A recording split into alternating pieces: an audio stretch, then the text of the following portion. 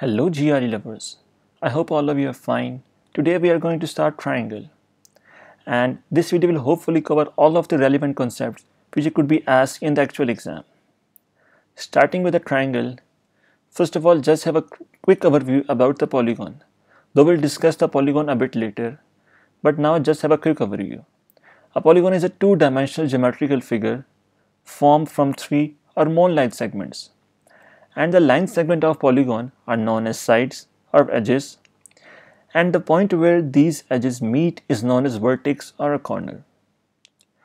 So if polygon have three sides that will be triangle, if that is four side that will be quadrilateral, for five side pentagon, for six side hexagon, for seven side heptagon. And for eight side octagon. These are the common types of polygons which you could be asked we will discuss the other polygons in detail, but for time being, let's quickly move to the triangle. So what exactly is a triangle? Triangle is a polygon with three sides, three angles and three vertices. So there are three sides and at the connection there will be angle and a vertex. And the sum of angles in a polygon is equal to n minus 2 into 180 where n is the number of side of polygon. And if we ask about the triangle, for triangle the number of sides is 3. That's why the total sum of angle in a triangle is equal to 1 degree. Now let's talk about some common terminologies which you will see as you move further in triangles. First one is altitude. That's sometimes maybe known as the height of triangle. There is a perpendicular drawn from the vertex of triangle to the opposite side. For example, if I if we have a triangle ABC, so if we consider the vertex A, so in that scenario, this AD will be the altitude or the height of triangle with respect to the side BC, and this is a perpendicular distance. And if I consider the vertex B, this BE will be the perpendicular distance from vertex B to AC and AC is considered base in this scenario. And if I consider the, vert the vertex C, so CF is the perpendicular distance from vertex C to the base AB. Okay, so next thing is median. What exactly is a median? A median is a line segment drawn from the vertex of a triangle to the midpoint of the opposite side. So basically median bisects the side so for example, if I consider the vertex A, if I draw a median from vertex A to the side BC, that will bisect the side BC into two equal parts, BD and CD. Both of its sides are equal now. Now if I consider the vertex B, so that's mean AE will be equal to EC. And now if I consider the vertex C, that's mean AF is equal to BF.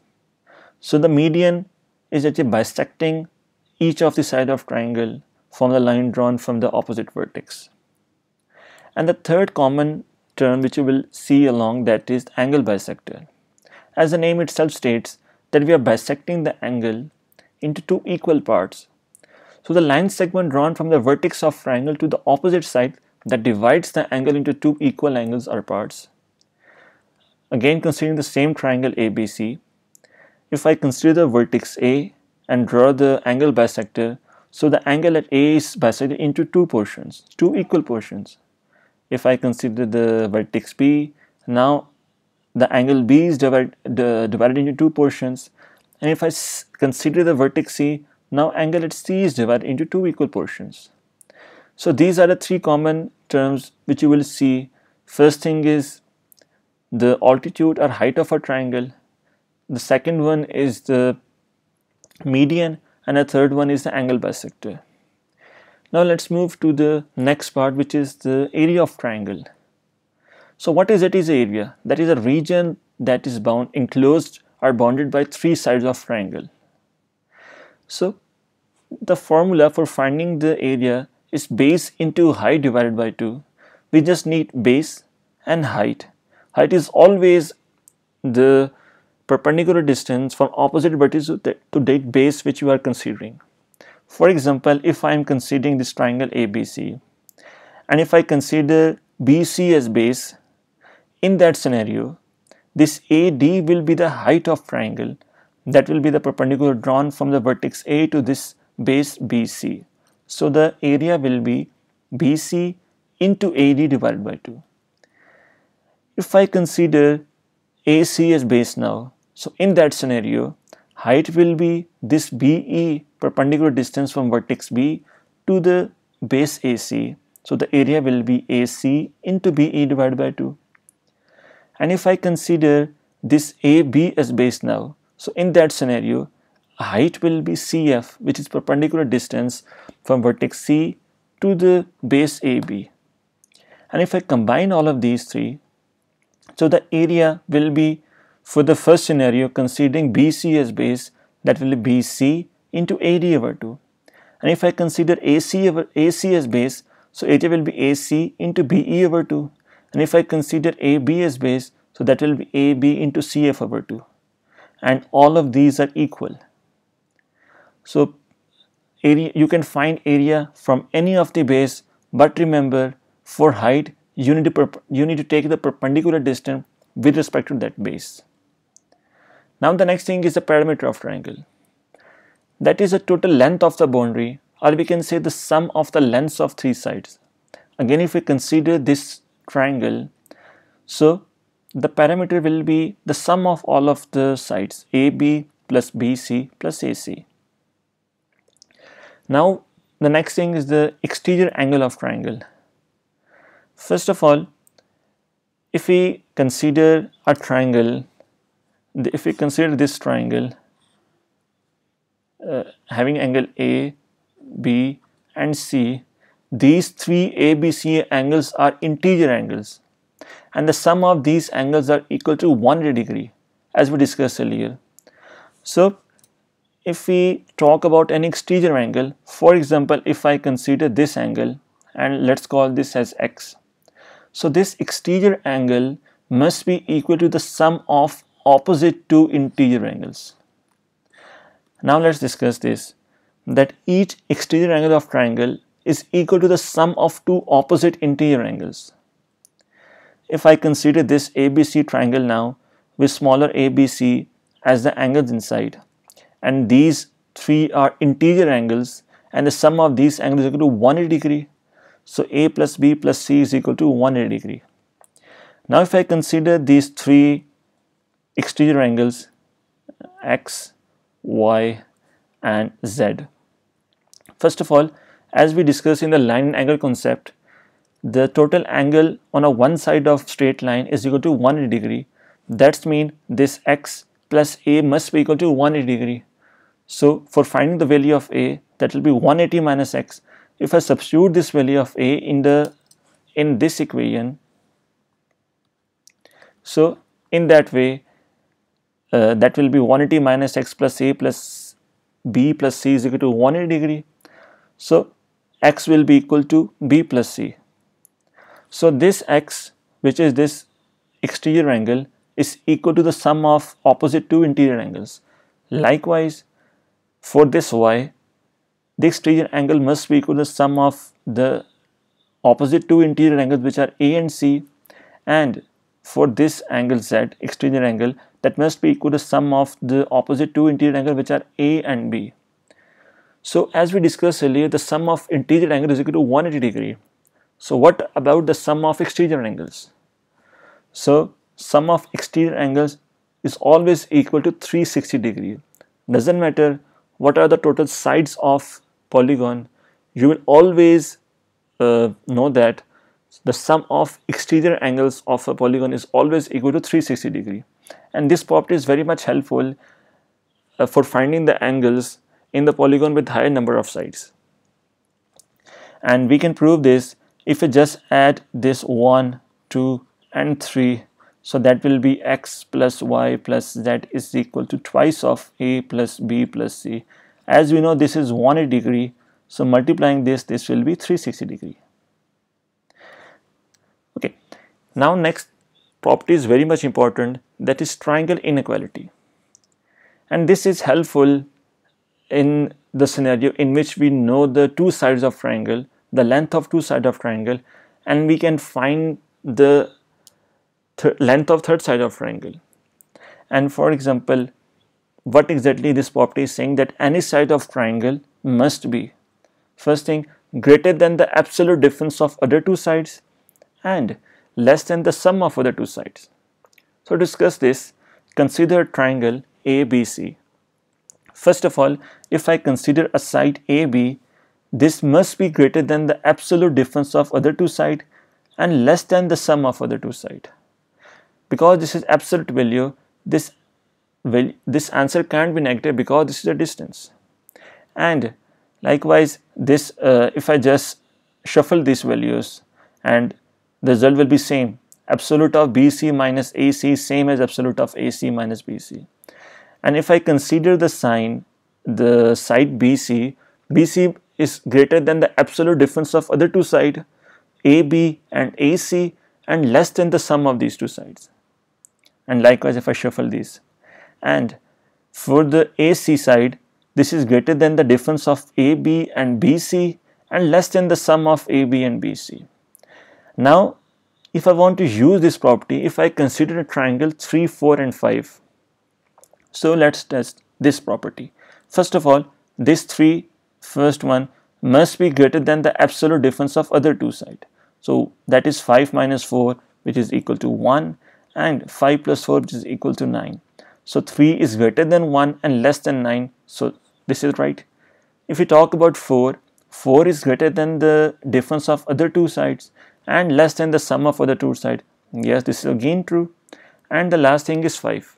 5 must be greater than difference of other two which is 4 minus 3 and less than the sum of other two which is 4 plus 3. This is again possible.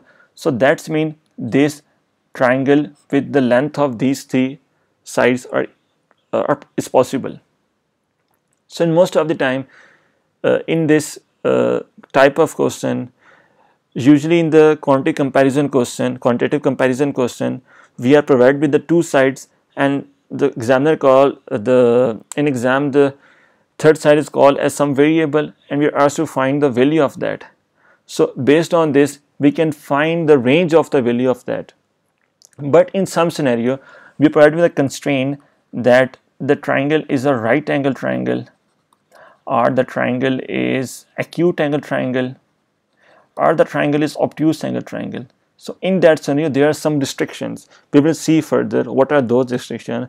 Otherwise, if that is a generic case, for example, we know that two sides of triangle are 4 and 7. So third, if I call third side as x, so x will be greater than difference of 2, which is 3 and less than the sum of 2, which is 11. So x could be any value which is greater than 3 and less than 11 okay. Now the next important thing is that the side opposite to the longest largest angle in is the longest side in the triangle. So what that mean? If i have a triangle with angles capital A, B, C and the sides corresponding to those angles the opposite side of those angles are smaller uh, uh, capital, uh, letters A, B, C. And for the capital angle with a capital letter A, the opposite side is a smaller, uh, the side length is a smaller letter A. Likewise for B and C. And if I am giving a constraint that this angle A is greater than angle B, which is greater than angle C. Based on that, I can say that because angle A is the greatest, that's why this side A is greatest. And angle B is second greatest, that's why this side is B in order and the last side with the least length will be uh, will have length C. That's why this A is greater than B and B is greater than C. Now the next thing is the types of triangle. So there are two uh, types of triangle based on two criteria. First thing is by angles and second thing is by sides. By angle there are three triangles right angle triangle, acute angle triangle and obtuse angle triangle. And based on sides there are three angles equilateral triangle, isosceles triangle and scalene triangle. First of all let's discuss the right angle triangle. So in right angle triangle as we all may know that in which one of the angle of a triangle is 90 degree. That will be right angle triangle. And if I consider this in which B, A and B are usually known as the legs and this side present a 90 degree and the side opposite to this is hypotenuse.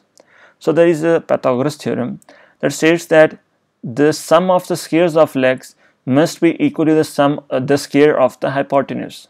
So a square plus b square is equal to c square and AB are two legs and C is a hypotenuse. Now there are four common Pythagoras triplets which every GRE student must remember. Those are 3, 4, 5, 5, 12, 13, 8, 15 and 17 and 7, 24, 25. More or less, if you will see question regarding the right angle triangle, those are, uh, revolve around these four common Pythagoras triplets. And you can make several uh, triplets based on that. For example, we know that 3 4 5 triplet that this is 3 this is 4 so this one must be 5 you can prove that this by this Pythagoras theorem that 3 square plus 4 square must be equal to 5 square. Now we can also write this as because this is triplet if I multiply whole of this by 2 so I can say that this is 6 this is 8 and this is 10 so in exam you will see the forms of these triplets, these four triplets, C4, 5, 5, 12, 13, 8, 15, 17 and 7, 24, 25. So you should remember these four triplets. First of these two triplets are very much common and the last two are a bit rare but you should remember these four triplets if you want to perform well on triangles. The next, let's see the special cases for right angle triangle. The first one is the isosceles right angle triangle that there is a 45 45 and 90 degree triangle. So we have a triangle 45 45 and 90 angle.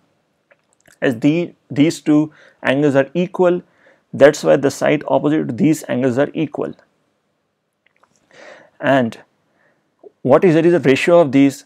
That is x ratio x ratio x under root 2 so if you want to prove that I can do that so for example this is a and this is also a because both of these sides are equal. So what will be this thing? Based on the Pythagoras theorem a square plus a square will be equal to let's call this as x for time being. So a square plus a square is equal to x square. So 2a square is equal to x square. X by taking the square root on both sides this will be a under root 2 so we got a, a and a under root 2. And exactly if you see this is x, x and x under root 2. In exam, this question could be asked that they provide you the value of any of these. Maybe the questions exam uh, say that in front of 90 degree you have 2 under root 2. So just equate 2 under root to this thing. So x under root 2 is equal to 2 under root 2. So x will be equal to 2. Now we can find this as 2 this as 2 and this as uh, 2 under root 2 okay. The next common uh, special case is 30 69 60 and 90 degree. So we have a triangle 30 degree 60 degree and 90 degree. So the ratio for this is x x under root 3 and 2x so this is x this is x under root 3 and this is 2x so if you know the value of any of these you can find the remaining two from that. For example if this is 6 under root 3 that's mean x under root 3 is equal to 6 under root 3 and that's mean x is equal to 6 so this is 6 this is 6 under root 3 and this is equal to 12 okay. Now this is the very much rare type of special case but the question relevant to this could be solved by other method by splitting the angles but it is worth to remember this that in 15 75 and 90 degree the ratios are under root 3 minus 1 whole uh, bracket x for 15 degree. For 75 in front of 75 this is under root 3 plus 1x and in front of 90 that degree that is 2 under root 3 2 under root 2x so based on that you can find any uh, remaining two values if you know the one value. And for example if the if in the question we are given that this thing is equal to 4 under root 2 so that's mean 2 under root 2 x is equal to 4 under root 2 so that's mean x will be equal to 2 now we know the x we can find the remaining two sides. And based on that we can find the perimeter area or whatever the condition provided with. Okay. And this is one question that this is 2 under root 2 x. Under root 3 minus 1 whole x. Under root 3 plus 1 whole x. And under root 2 uh, 2 under root 2 whole x now next thing is about the acute angle triangle so in acute angle triangle all of the angles of a triangle are less than 90 degree and just like in this triangle with sides A, B and C length and smaller A, B, C are the angles. The sum of all, the, all of the angles A, B and C are less than 90 degree and this is a very important property. To understand this, let's consider this way as in the case of a right angle triangle, if this is A, this is B, this is C, based on the Pythagoras theorem, this is A square plus B square is equal to C square.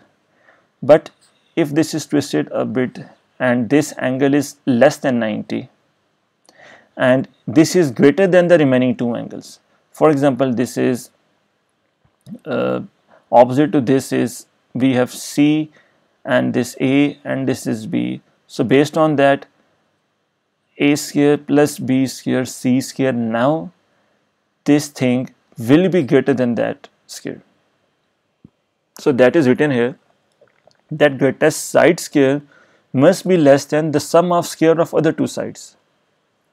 Just like in this, if I consider angle A is greatest, so that's why greatest side will be having length A and uh, after that the side greater length will be angle B and after that angle uh, after that the length C. So based on that the sum of the square of B and C must be greater than the square of A. So the greatest side square is less than the sum of square of other two sides. And the last one based on angle is obtuse angle triangle. When one of the angle of triangle is greater than 90 and there could be only one angle because the sum is equal to 1 degree. And if there is if you exceed 90 degree once so in that scenario the angle will exceed the 180 degree which is not possible. So there could be only one angle that is greater than 90 degree. And uh, in this scenario uh, smaller ABC are angles and greater ABC are sides and uh, to understand this consider that this angle is greatest and from the rest two this is greater than 90 degree so the side opposite to this square C square must be greater than the sum of other two squares a squares plus b square which is c square is greater than a square plus b square. So first of all in a right angle triangle just quickly revise a right angle triangle uh, this is a this is b this is c. So that is a square plus b square is equal to c square. In the acute angle triangle if this is the greatest angle so this is a, c a and b. So that's mean c square is less than a square plus b square. And in this scenario in which the c is the angle greater than 90 degree so in this scenario this c square is greater than a square plus b square. So these are three uh, important things which you should remember and it is love to ask this question again and again and in such question please pay attention to the words obtuse angle, acute angle or the right angle. Now the sides of the types of triangle based on the sides. So first one is equilateral triangle. So in that when all of the sides have equal length and as all of sides are equal that's when all of the angles are equal. All angles sums to 180 degree that means each angle is 60 degree. So we have a triangle with all of the angles capital X and all of the sides are X. So you should remember two three formulas for this. What is the area? Area will be square root 3 divided by 4 into side square. And in this range scenario side is equal to x. What is the height height is under root 3 by 2 into side. And the perimeter is thrice of this length x. We can find area and height using the angles bisectors and the altitude but the quick way is just quickly use this formula and find the area and height of equilateral triangle. Now let's understand some important properties for equilateral triangle. That altitude, median and angle bisector from the same vertex always overlap. What that mean? That mean that if I draw the altitude, median or angle bisector from this vertex to this side, that will always be same. So the same one is the angle bisector, is the height of the triangle or altitude and the median as well. Likewise, if I draw from this vertex to this side, so that will again be the median, altitude and angle bisector. And if I draw from this vertex to this side, that will again be the angle bisector, median and height at the same time. So the property is written then for uh, each altitude, median angle bisector from the same vertex always overlap and based on this you can see that there are six triangles one two three four five and six. These are equal triangles. And uh, if we know the total area of triangle you can divide that by 6 to find the area of such single triangle. And if you know the any of this area of any of this triangle just multiply that by 6 to find the total area of equilateral triangle. So this property is very much important as we move further once we are done with the circles we will see in the mixed geometry that how we can inscribe a circle in this how this can be inscribed in the circle and how can the quadrilateral can be inscribed in this. So for that you need to understand this property of altitude and median and angle bisector. Okay. So the next triangle based on the side is isosceles triangle. So in isosceles triangle two sides have same length and third side is different length. As two sides are same that's mean two angles are same. So we have a consider a triangle in which these two angles are same these two sides are same and this third side and angle is different. Now there is one common type of question which is asked regarding the isosceles triangle that for example uh, this is equal to 5 5 and 6 and we are asked to find the area of this triangle. Just pause this video for a while and try to solve this at your own that how you can find the area of this. Okay, I believe all of you have done that. Now first to understand this, first of all see some properties of this isosceles triangle. You don't need to remember any formula to find the area of this triangle. Let's see how. So if I draw the, if I consider this BC side as a base and which is the unequal side because rest AB and AC are equal side. If I consider this BC as unequal side, uh, as equal side as base, so in that scenario,